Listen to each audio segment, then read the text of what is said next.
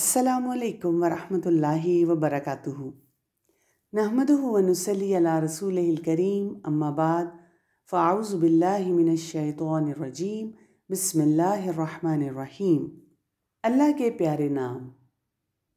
ليس كمثله شيء وهو السميع البصير اللہ جیسا کوئی بھی نہیں ہے۔ نسألك يا من هو الله الذي لا إله إلا هو الإله الرحمن الرحيم. الملك القدوس السلام المؤمن المهيمن العزيز الجبار المتكبر الخالق البارئ المصور الغفار القهار الوهاب بچوں، آج جو ہم اللہ تعالیٰ کا نام کریں گے وہ ہے الوہاب یعنی بہت زیادہ عطا کرنے والا اور ایسا بے نیاز کہ اس کے دینے میں کوئی کمی ہی نہیں آتی۔ ویسے بچوں، اگر ہم اپنی زندگی کو ذرا غور سے دیکھیں، تو جو کچھ بھی ہمارے پاس ہے، سب اللہ نے تو دیا ہے۔ بھاگ کے جائیں، اپنے کمرے میں جا کر اپنے ٹوائز کو دیکھیں۔ کتنے زیادہ ہیں۔ اچھا الماری کھولیں، کپڑے دیکھیں۔ اچھا چلیں فریج کھول کے دیکھیں۔ اللہ اکبر، الوہاب نے کتنا کچھ ہمیں دیا ہوا ہے۔ اور ہمارے ان خزانوں میں کمی ہی نہیں آتی۔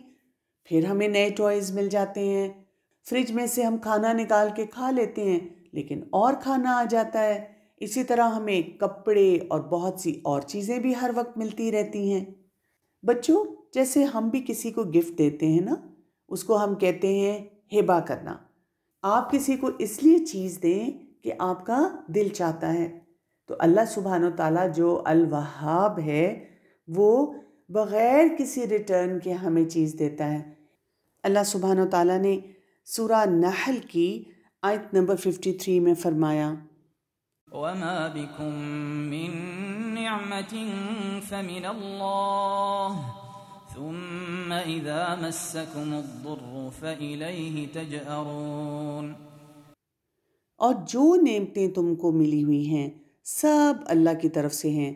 پھر جب تم کو کوئی تکلیف پہنچتی ہے، تو اس کے آگے چلاتے ہو۔ یعنی ہم اللہ تعالیٰ کی نعمتوں سے جب فائدہ حاصل کر رہے ہوتے ہیں، تو شکر ادا ہی نہیں کرتے۔ اور جب کسی مشکل میں پڑ جاتے ہیں، تو کمپلین کرنا شروع کر دیتے ہیں۔ تو اللہ تعالیٰ الوہاب صرف ہمیں چیزیں ہی نہیں دیتا، بلکہ غم کو خوشی میں بدل دیتا ہے۔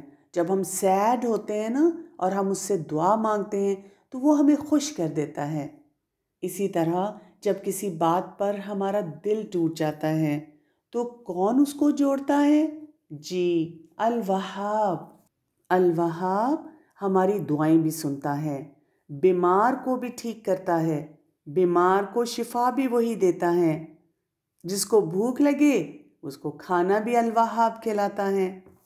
اور سب سے بڑی نعمت جو ہمیں الوہاب دیتا ہے، وہ ہے گائیڈنس اسی لیے تو جب ہم قرآن پڑھتے ہیں اور رسول اللہ صلی اللہ علیہ وآلہ وسلم کی سنت کے مطابق کام کرتے ہیں، تو پھر ہم یہ دعا بھی مانگیں۔ جو کہ سورہ آل عمران کی آیت نمبر ایٹ میں آتی ہے۔ ربنا لا تزغ قلوبنا بعد إذ هديتنا وهب لنا من لدنك رحمة إنك أنت الوهاب اس دعا کا مطلب ہے اے ہمارے رب جب آپ نے ہمیں ہدایت بخش دی تو اس کے بعد ہمارے دلوں کو ٹیڑھا نہ کر دینا۔ اور ہمیں اپنے پاس سے نعمت عطا فرمانا۔ بے شک تو ہی الوہاب ہے، تو ہی بہت زیادہ عطا کرنے والا ہے۔ تو بچوں، ہمارے پاس تو چھوٹا سا فارمولہ ہے۔ ہمیں جو بھی چاہیے، ہم اللہ تعالیٰ سے دعا کریں، الوہاب کہہ کر دعا کریں۔ تو اس کے پاس سب کچھ ہے اور وہ سب کچھ دے سکتا ہے۔ اور جب اللہ سبحانہ و تعالیٰ جو کہ الوہاب ہے، اس نے ہمیں اتنا کچھ دیا ہے تو کیا ہمیں آگے لوگوں کے ساتھ شیئر نہیں کرنا چاہیے؟ جیسے کہ ہمارے ٹوائز ہیں، پیسے ہیں، کپڑے ہیں۔ رسول اللہ صلی اللہ علیہ وآلہ وسلم نے فرمایا، خرچ کرو، تو میں بھی تم پر خرچ کروں گا۔ اللہ تعالیٰ کا ہاتھ بھرا ہوا ہے۔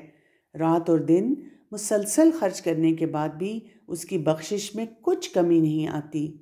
تم نے دیکھا نہیں؟ کہ جب سے اللہ نے آسمان اور زمین کو پیدا کیا ہے، وہ مسلسل خرچ کر رہا ہے، لیکن اس کے ہاتھ میں کوئی کمی نہیں ہوتی۔ بچوں، اگر آپ اللہ سبحانہ تعالیٰ کی صفت، اس ایٹریبیوٹ کو بہت اچھی طرح محسوس کرنا چاہتے ہیں، تو اپنے ارد گرد دیکھیں۔ اور ساتھ سورہ رحمان کی آیت نمبر ٹین سے لے کر تھرٹین تک سنیے۔ والأرض وضعها للأنام فيها فاكهة والنخل ذات الأكمام والحب ذو العصف والريحان. فبأي آلاء ربكما تكذبان؟ إن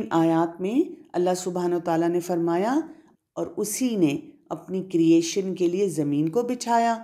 اس میں میوے اور کھجور کے درخت ہیں جن کے خوشوں پر غلاف ہوتے ہیں اور اناج جس کے ساتھ بھس ہوتا ہے اور خوشبودار پھول۔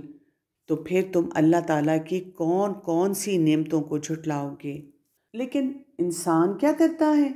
جو اللہ دے رہا ہے اس کو تو دیکھتا نہیں اور جو اس نے کسی حکمت کی وجہ سے روک دیا اس پر دل تنگ ہونا شروع ہو جاتا ہے۔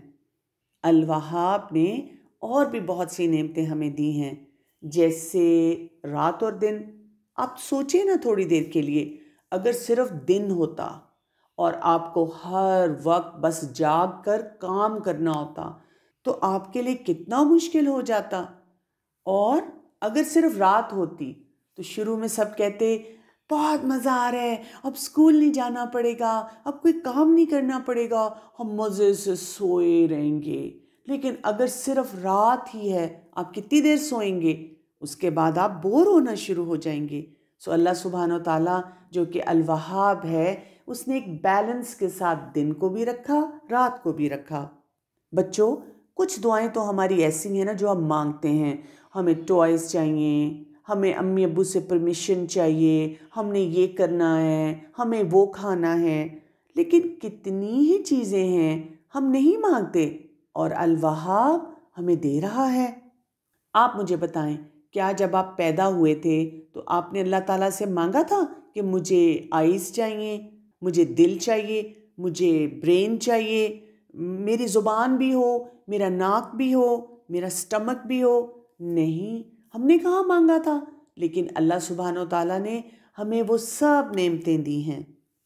اللہ سبحانہ و تعالیٰ سورہ نحل کی آیت نمبر سیونٹی ایٹ میں شاد فرماتے ہیں۔ والله أخرجكم من بطون أمهاتكم لا تعلمون شيئا وجعل لكم السمع والأبصار والأفئدة لعلكم تشكرون۔ اور اللہ نے تم کو تمہاری ماؤں سے پیدا کیا کہ تم کچھ نہیں جانتے تھے اور اس نے تم کو کان، آنکھیں، دل دیے تاکہ تم شکر ادا کرو۔ لیکن بچوں، ایک اور بات بھی سمجھنی ہے۔ الوہاب نے ہم سب کو ایک جیسی چیزیں نہیں دی ہیں۔ کسی کو کچھ دیا اور کسی کو کچھ دیا، تو ہمیں یہ ضرور سوچنا ہے جب الوہاب سب کچھ دے سکتا ہے اور نہیں دے رہا اس کی کوئی وجہ ہے؟ ہمیں صرف اس پر راضی ہو جانا ہے۔ اللہ تعالیٰ جو کہ الوہاب ہے، وہ تو اس کو بھی دیتا ہے جو اس کو مانتا ہی نہیں ہے۔ اسی طرح بچوں، ہم جو بہت سی دعائیں پڑھتے ہیں، اس میں بھی ہم الوہاب سے مانگ رہے ہوتے ہیں۔ جو پیرنٹس ہیں، وہ اپنی اولاد مانگتے ہیں اور صرف اولاد نہیں مانگتے، نیک اولاد مانگتے ہیں۔ اسی طرح ہم وزڈم مانگتے ہیں الوہاب سے۔ ہم الوہاب سے آخرت بھی مانگتے ہیں۔ سلمان علیہ السلام نے اللہ تعالیٰ سے جو کہ الوہاب ہے، دعا کی کہ مجھے ایسی کنگڈم دینا اللہ تعالیٰ جو کسی کو نہ آپ نے دی ہو۔ اور الوہاب نے سبحان اللہ کیسی کنگڈم دی تھی؟ وہ اینیمل سے بات کر سکتے تھے، ان کی زبان سمجھ سکتے تھے اور جن جو تھے وہ ان کے کنٹرول میں تھے۔ تو ہمیں یہ سوچنا چاہیے، میں جو بھی مانگ رہا ہوں نا، چاہے بہت مشکل چیز ہے، بہت زیادہ ہے جو کہ شاید مجھے لگتا ہے کہ یہ مجھے مل ہی نہیں سکتی۔ لیکن اللہ تعالیٰ جو کہ الوہاب ہے، ہر چیز دینے کی طاقت رکھتا ہے۔ رسول اللہ صلی اللہ علیہ وآلہ وسلم اسی لیے بہت زیادہ لوگوں کو دیا کرتے تھے۔ بہت سی جگہ ہم دیکھتے ہیں کہ آپ صلی اللہ علیہ وآلہ وسلم اپنے لیے کچھ بھی نہیں رکھتے تھے، لیکن لوگوں کو دے دیتے تھے۔ لوگ ان کو تنگ بھی کرتے تھے، لیکن آپ صلی اللہ علیہ وآلہ وسلم ان کے دین اور ایمان کے لیے دعا کرتے تھے اور ان کی ہیلپ بھی کیا کرتے تھے۔ آپ صلی اللہ علیہ وآلہ وسلم نے اگر کسی سے کچھ لیا ہوتا تو جب اس کو واپس لوٹاتے تھے تو اتنی ہی چیز نہیں لوٹاتے تھے، زیادہ کر کے لوٹا دیتے تھے۔ اور دینے کے بعد بدلہ کس سے؟ اللہ تعالیٰ سے۔ جیسے کچھ بچے جب کچھ شیئر کرتے ہیں، تو وہ یہ سوچ کے شیئر کرتے ہیں کہ جب مجھے چاہیے ہوگا تو یہ بھی مجھ سے شیئر کریں گے، یہ بھی مجھے اتنا ہی اچھا گفٹ دیں گے۔ لیکن ہمیں اصل امید تو الوہاب سے ہونی چاہیے۔ اسی لیے بچوں، یہ بات بھی یاد رکھنے کی ضرورت ہے کہ اگر ہم کسی کو چیز دے دیں اور پھر اس سے واپس مانگیں، تو آپ کو پتہ ہے اس کو کیا کہا گیا ہے کہ جیسے کتا کہہ کرتا ہے اور پھر وہ اپنی ہی کہہ کو چاٹنا شروع کر دیتا ہے۔ جب اللہ تعالیٰ جو کہ الوہاب ہے، ہمیں اتنا کچھ دیتا ہے اور دے کر ہم سے واپس نہیں مانگتا، تو پھر ہم بھی اس کے ایسے بندے بنے کہ لوگوں کے ساتھ شیئر کرنے والے ہوں، لوگوں کا خیال رکھنے والے ہوں۔ السلام علیکم ورحمۃ اللہ وبرکاتہ۔